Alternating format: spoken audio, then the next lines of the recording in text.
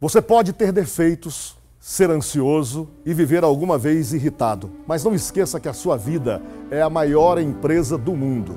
Só você pode impedir que vá em declínio. Muitos lhe apreciam, lhe admiram e o amam. Gostaria que lembrasse que ser feliz não é ter um céu sem tempestade, uma estrada sem acidentes, trabalho sem cansaço, relações sem decepções.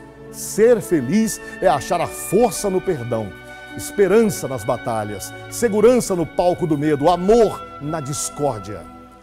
Ser feliz não é só apreciar o sorriso, mas também refletir sobre a tristeza. Não é só celebrar os sucessos, mas aprender lições dos fracassos. Não é só sentir-se feliz com os aplausos, mas ser feliz no anonimato. Ser feliz é reconhecer que vale a pena viver a vida, apesar de todos os desafios, incompreensões, períodos de crise. Ser feliz não é uma fatalidade do destino, mas uma conquista para aqueles que conseguem viajar para dentro de si mesmo. Ser feliz é parar de sentir-se vítima dos problemas e se tornar autor da própria história. É atravessar desertos fora de si, mas conseguir achar um oásis no fundo da nossa alma é agradecer a Deus por cada manhã, pelo milagre da vida.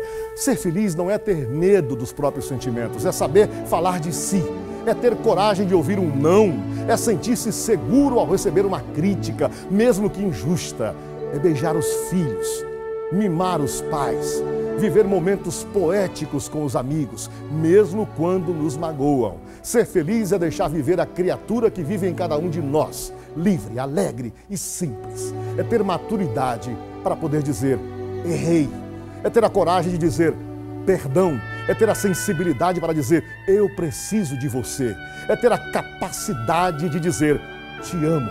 Que a tua vida se torne um jardim de oportunidades para ser feliz que nas suas primaveras seja amante da alegria, que nos seus invernos seja amante da sabedoria, e que quando errar, recomece tudo do início, pois somente assim será apaixonado pela vida. Descobrirá que ser feliz não é ter uma vida perfeita, mas usar as lágrimas para irrigar a tolerância, utilizar as perdas para treinar a paciência, usar os erros para esculpir a serenidade, utilizar a dor para lapidar o prazer, utilizar os obstáculos para abrir janelas de inteligência.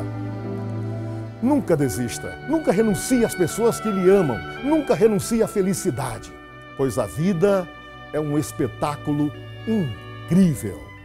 Papa Francisco. Boa tarde.